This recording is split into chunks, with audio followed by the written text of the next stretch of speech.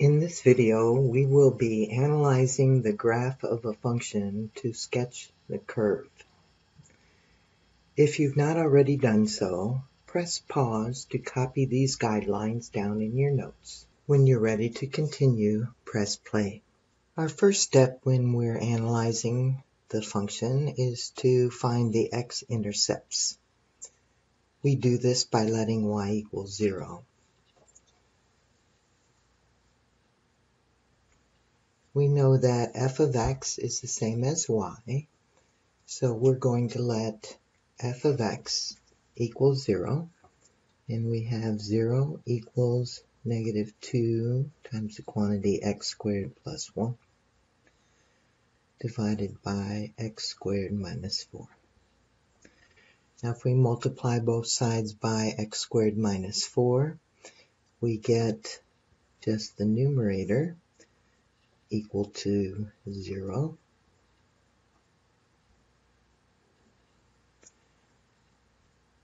And we can see that the only way that this would equal 0 is if this term was negative 1.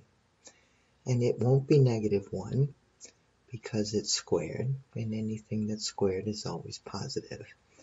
So that means there are no x intercepts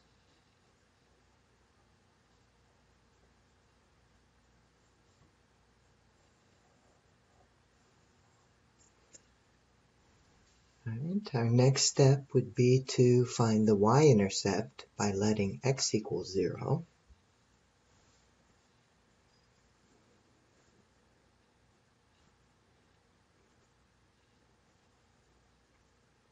Negative 2 times the quantity 0 squared plus 1 divided by 0 squared minus 4. So this tells me that y is equal to negative 2 times 1 divided by negative 4 or y is equal to 1 half.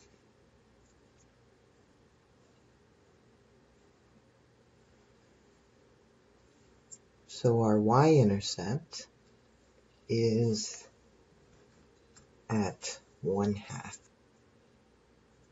Our next step is to find the vertical asymptotes where the denominator is equal to 0 So x squared minus 4 is our denominator. If we set that equal to 0, we get x squared is equal to 4. So x equals plus or minus 2. Those are our vertical asymptotes. So negative 2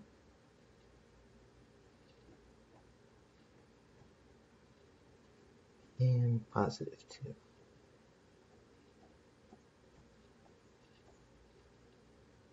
Our next step is to find the horizontal asymptote, oblique asymptote, or the limit at positive infinity and or negative infinity. Well, this is a rational function, so we can determine that since the degree of the numerator is equal to the degree of the denominator, that we have a horizontal asymptote at the ratio of the lead coefficients. So my lead coefficient in the numerator is negative 2. My lead coefficient in the denominator is 1. So my horizontal asymptote is at y equals negative 2 over 1 or negative 2.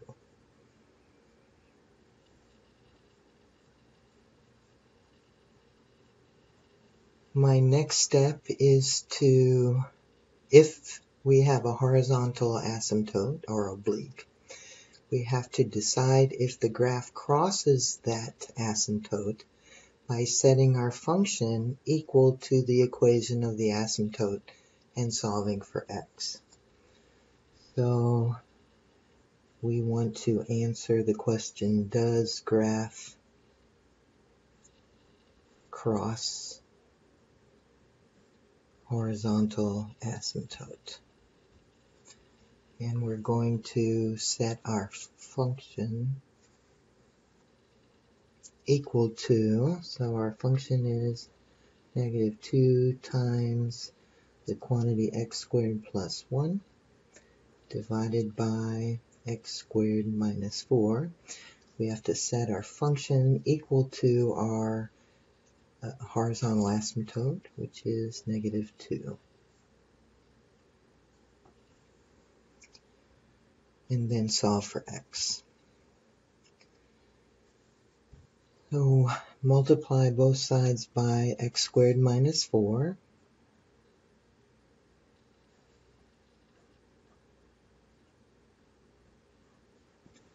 This will cancel.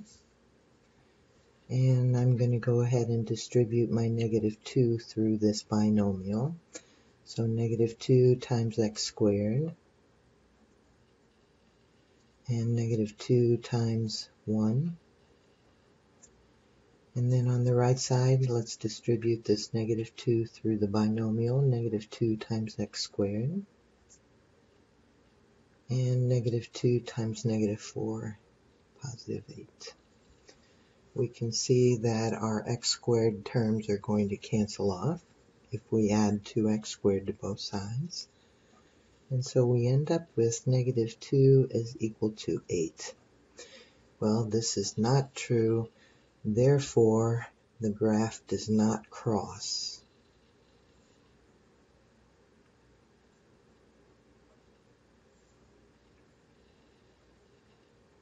the horizontal asymptote.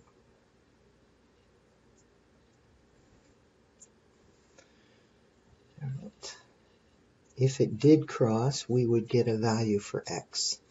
That would tell us where it crossed. Our next step is to find symmetry. Since our x's are squared, we can see that this is symmetric with respect to the y-axis.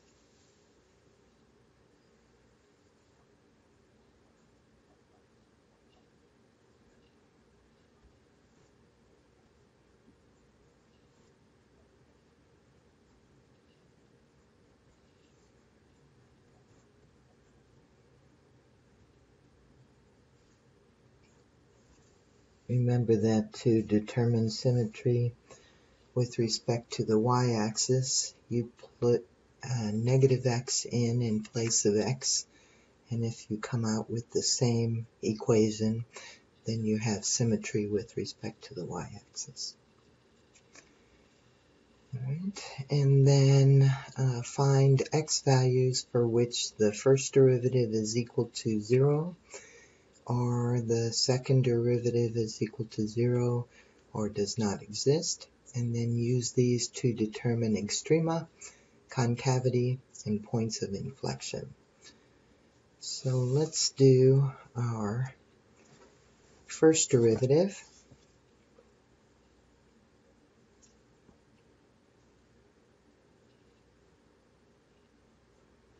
Let me copy my function here we have f of x is equal to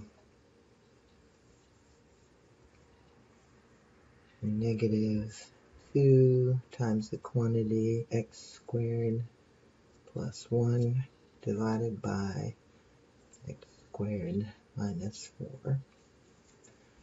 So my first derivative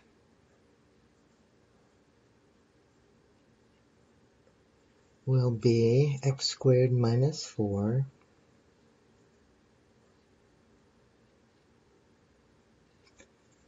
times negative 4x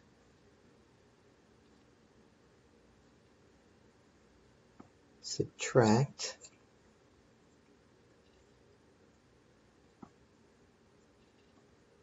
Negative 2x squared minus 2 I just distributed my negative 2 through the binomial times the derivative of the bottom, which is 2x.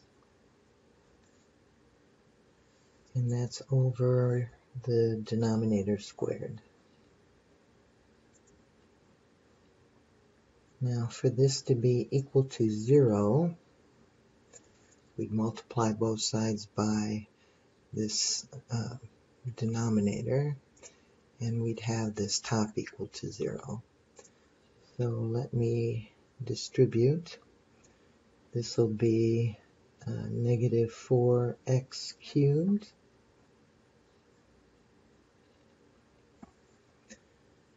and a positive 16x and we have negative and negative so we have a positive 4x cubed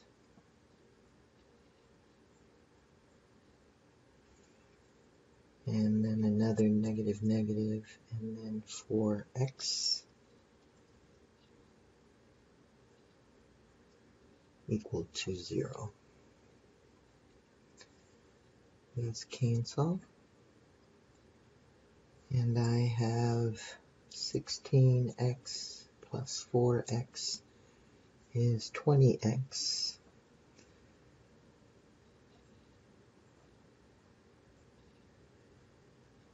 So x is equal to 0 is one of our critical numbers we also have to consider when the, the first derivative is undefined, or does not exist rather, and that's going to happen at um,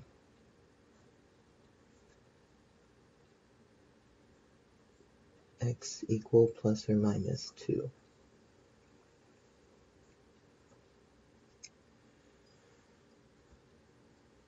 So we need to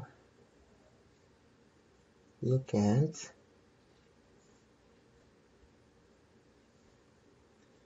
I'm going to choose test values negative 3, negative 1, 1, and 3. And if we put these values, these test values, into our derivative, our derivative was 20x over x squared minus 4 quantity squared. So if I put negative 3 in here, for sure the bottom is going to be a positive because it's squared. So when I put negative 3 up in the numerator, I have a negative. So my first derivative is negative in this interval. And then if I put a negative 1 in, my first derivative is still negative in this interval. If I put a positive 1 in, I have a positive. and if I put 3 I have positive still.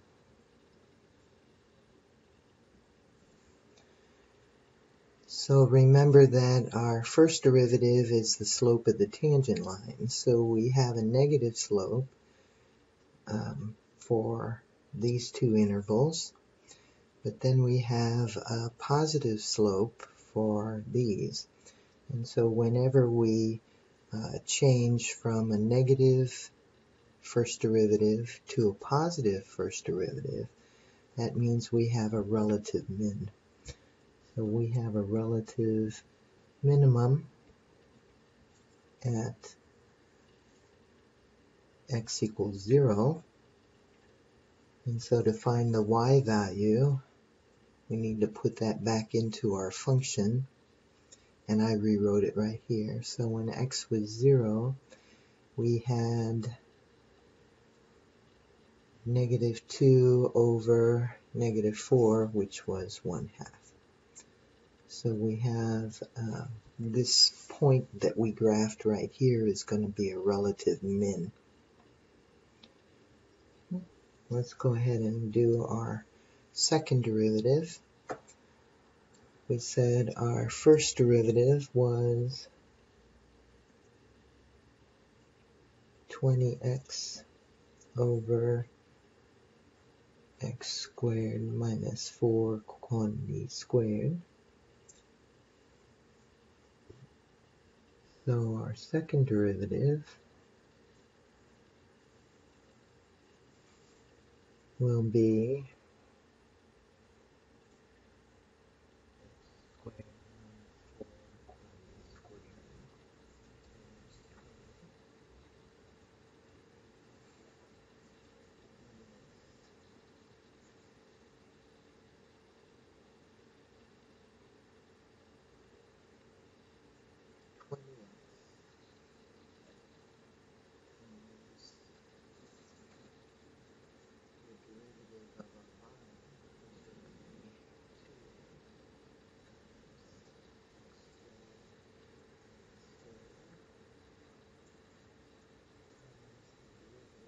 what's inside, which is 2x.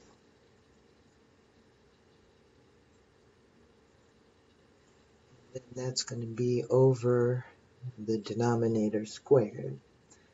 So I'll have x squared minus 4 to the fourth power. Now I can do some simplifying. I can see this x squared minus 4 factor. I can see it here so I can separate this into two fractions. I'll take one of these out.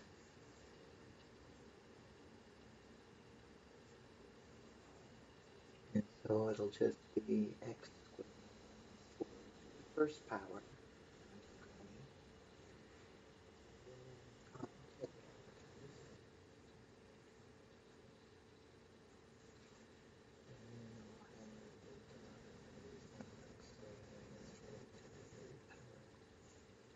So if I simplify this, this is 20x squared and um, negative 80x squared. That gives me a negative 60x squared. And then I have negative 80. And that's over x squared minus 4 to the third power. I need to set that equal to 0. Now usually at a point where you change concavity from concave down to concave up, you would consider that point to be a point of inflection. However, we know that we have these two uh, values are the um, vertical asymptotes. So all we can tell from our second derivative is our concavity, and we have no points of inflection.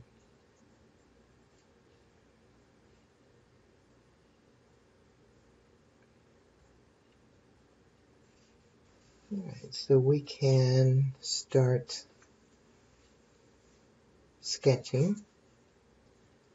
We know that we have no x-intercepts. So we are not going to cross the x-axis. This is our x-axis. We know that we have um, a y-intercept at one half, and we also know that that is um, a relative min. We got that from our first derivative down here. So that means that um, we're going to have to go up along the asymptotes here. Not only because it's a relative min, but we can't go down because we can't cross the x-axis. We also know that we have our curve is concave down on the left side of our vertical asymptote and on the right side of our vertical asymptote, which means that our graph is going to look like this.